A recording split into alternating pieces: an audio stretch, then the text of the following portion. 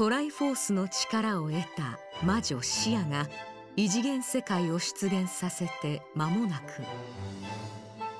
天空の大地スカイロフトと共に現れた封印の地で